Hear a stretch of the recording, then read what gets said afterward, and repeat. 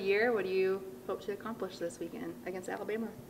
Pretty much the same thing as we've been trying to do is just keep topping ourselves and getting better. Have you said anything to the younger gymnasts who maybe haven't faced Alabama before about what kind of atmosphere they should expect? Or Um, I mean, it's pretty much it's going to be crazy because you know it's Alabama, but um, it's not going to be too much different with the crowd. Like if we're traveling there, it's different because you know we get a lot of boos and a lot, a lot of hay. So, yeah, but it's, it shouldn't be too much different, other than more exciting. Coming off a stellar performance last week, how do you yourself improve upon that and do better this week against Alabama?